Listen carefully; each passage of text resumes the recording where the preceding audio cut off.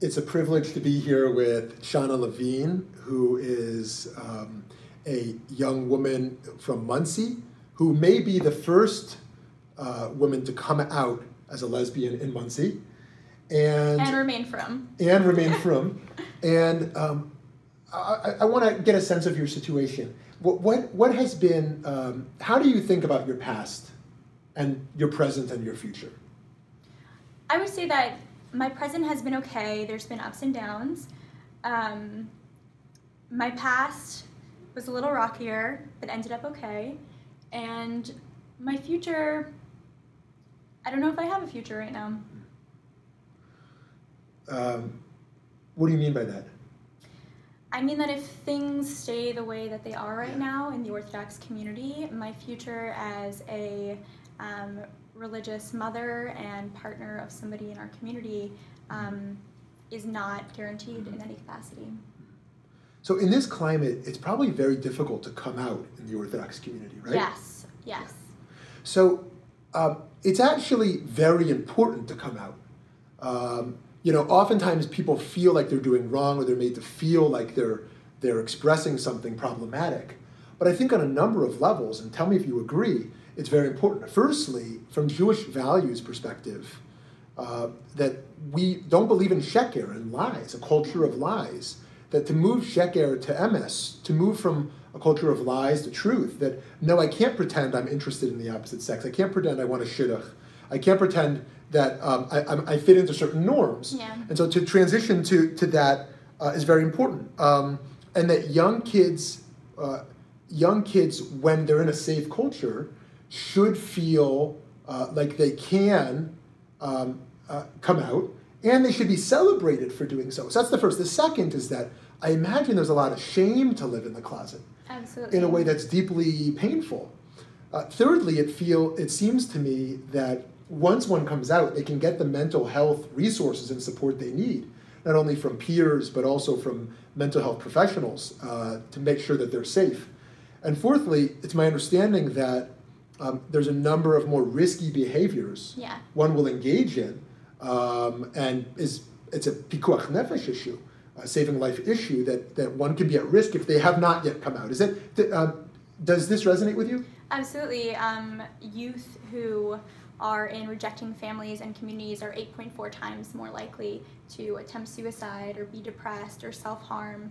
And with every instance of um, phobia or aggression that they encounter, it just goes up and up and up, these numbers. Um, it's really scary and it's absolutely pikuach nefesh. This is saving the lives of these LGBTQ youth who are living in the closet with all this shame and anxiety and terror. You know, terror. They're terrified. Yeah. Wow. You know, it used to be the average age of coming out was around 24.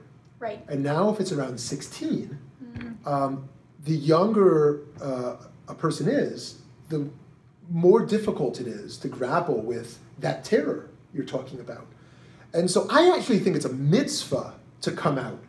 Uh, it's a mitzvah because of all these reasons we've talked about to move, you know, a, a, the, the, culture of lies to a culture of truth, to to address the shame, to get mental health resources one needs, and um, and to be engaged in less risky behavior. Of course, as long as you're safe as and you're in a position safe. to do yes. so. So that's that. That's the closing uh, conversation I want to have. Is how do we build those safe communities? How do we ensure that our synagogues, but even let's start with schools 1st mm-hmm. what would it look like for our schools to be prepared to handle uh, our kids, uh, our Orthodox kids, in coming out? What are some right. steps they might take? So let's imagine that there's an Orthodox day school or yeshiva or a Beis Yaakov or a high school, um, and you have a ninth grader or 10th grader who comes out. So imagine the difference between a school that has had administration that has instituted policies that protect their LGBTQ students that say if an LGBTQ student comes out, they're not going to be expelled, they're not going to be suspended. Um, policies that protect students from teachers saying homophobic remarks um, from students saying homophobic remarks or transphobic remarks to each other. Um, imagine what it would be like if teachers had sensitivity trainings that were both LGBTQ affirming and Orthodox affirming, um, and know what to do in the classroom, what to do when a child comes out to you, um, where can I send a child to access resources that will help them. There are already resources in the community. There's already JQY, Jewish Queer Youth, which is an organization that provides support for um, mm-hmm. LGBTQ youth. Um, and there's support groups. There's a drop-in center in New York City. There's a Facebook group and an email listserv for teens um, and for up to age 30.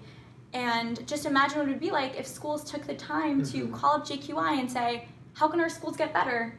You know, um, there's an organization called Eshel that has a parents Shabbaton, mm-hmm. where parents of LGBTQ wow. children yeah. get together and talk about what it's like. Um, and there's a parents call where, where parents can talk about um, you know, the, the struggles and the pain and, this, and the celebration too mm-hmm. of their children with each other. Um, and that's so important. So institutions, schools need to um, access the resources that already exist and buy into them, right? Like make sure that the mental health workers in the schools are trained, the teachers are trained, the administration is trained. Um, make sure that there is make sure that all all barriers to inclusion for LGBTQ youth that have nothing to do with halacha, right. all of those need to be removed. Right, right. All of those need to be gone. And I think that there's some basic education as to what halacha is. Yes. In the sense that um, the whole issue has kind of been kind of packaged together. Whereas I think you're exactly right. There's a lot of non-halachic barriers that we have to remove for inclusivity uh, and how crucial it is. And it's going to be done differently in different schools and different synagogues. I, am from a more modern Orthodox community. It sounds like you, you come from a more yeshivish community, right. and there's going to be different approaches in those kind of schools. And um, these organizations looking to counsel are not looking to push or persuade. They are wonderful resources for parents, for rabbis, for educators, for youth to be um, supported in this difficult process. So, um, anything you want to leave? You want to leave people with? I think it's important for people who are allies, right? Rabbis, educators, even just, you know, lay people to be public about their support. So often you have a LGBTQ young person who comes out to somebody in private, and in private they're so nice and right. so wonderful yes. and so accepting, and then as soon as they leave the doors of that room, it stops. And so that creates a dissonance for that child that they're accepted in this room and it creates a, a codependency also. But as soon as they leave, things aren't safe anymore. Yeah. And unless there's public support, then there's no sustainable policies that include LGBTQ children. Mm-hmm. So it's it's hard, but you know, we're all talking about this like in private, right? Every rabbinic group, every shul, every school is having conversations about LGBTQ people. Um, but everyone's afraid to like be the first one. But you're really really not alone. And this is teamwork. And lgbtq um, adults and these resources want to help uh, want to help everyone get there. This is teamwork. This is collaboration. We just want to make um, our communities a safer more celebratory place for lgbtq youth and people. Yeah. I want to leave the, the rabbis the educators the parents the youth with a little bracha mm-hmm. that we should have the courage to be public the courage to be public to ensure that our youth can be safe, that our youth can live with, with emes, can live lives of truth, um, can, can live a life with absence of, of, of shame, um, an absence of being forced into more risky behavior. And I think what Sean has demonstrated and, and these wonderful organizations you mentioned are now emerging to support us in this journey that we weren't always able to do in the past. And so now is the time to cultivate that courage, and I just wish you a lot of bracha in your continued work to be an advocate for what you do. Amen. Thank you. Thank you so much.